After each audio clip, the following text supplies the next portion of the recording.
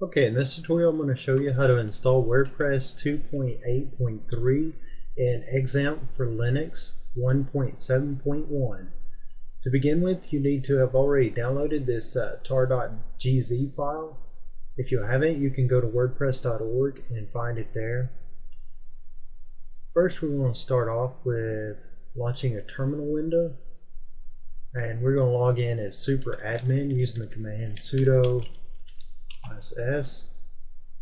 Okay, normally it would ask you for your password, but I've already done this. So, all right, the next thing we need to do is begin by extracting that file. And we do that using the command tar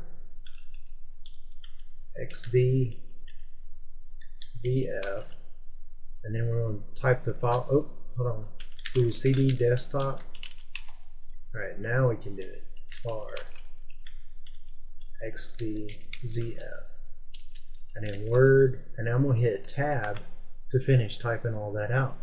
Now I'm going to add C, and then opt, well, and htdocs. And this is going to automatically put it in a subdirectory in our htdocs folder. So next what we're going to do is go ahead and start XAMPP by doing opt, lamp, lamp, and then start.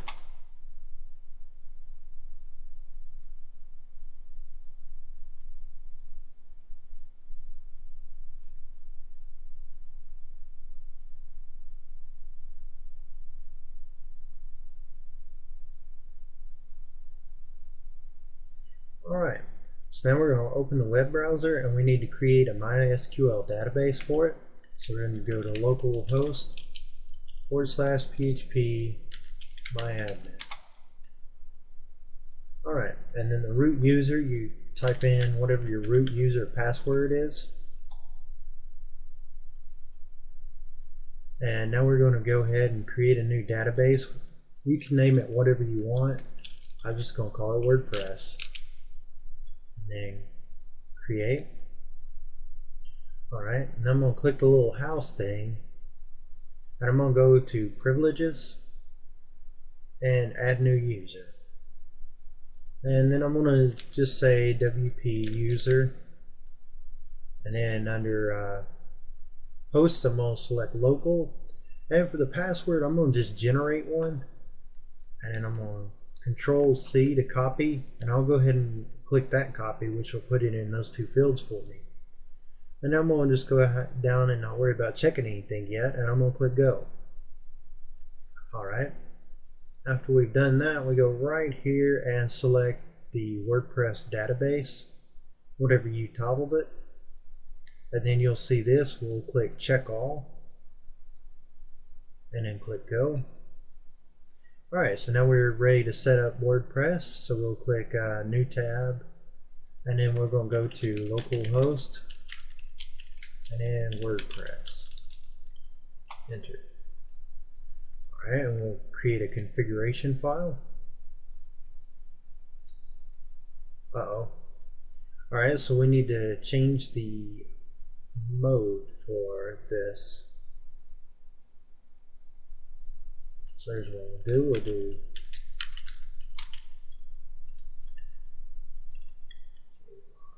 seven to uh, actually that's hot lamp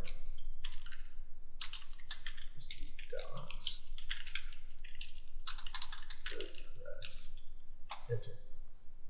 Alright. Now we'll minimize that and we'll try this again. Click back and then.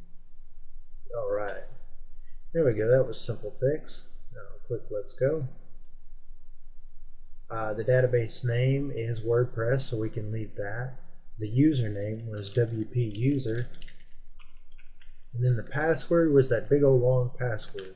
And that's where we go ahead and paste it right there and the database host. Everything else is fine, so we can click submit. And now we're going to run this install. And the title we're going to do is uh, just make up the blog title.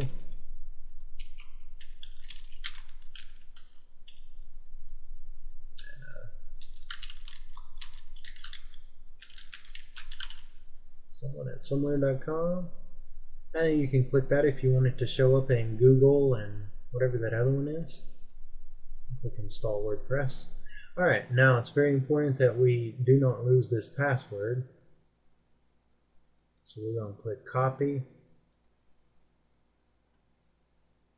Then we're going to click admin. Paste that password. Alright, so now they make it uh, easier now to, to go ahead and change that password. So you click yes. Oh, and it takes you right down to the password thing. So now you set your new password. I know my password is weak. You need to, I wouldn't recommend a weak one, but go ahead and click update profile and now your new password should be good to go. Click on this and there's your new WordPress blog and that is how you install it and XAMPP for Linux.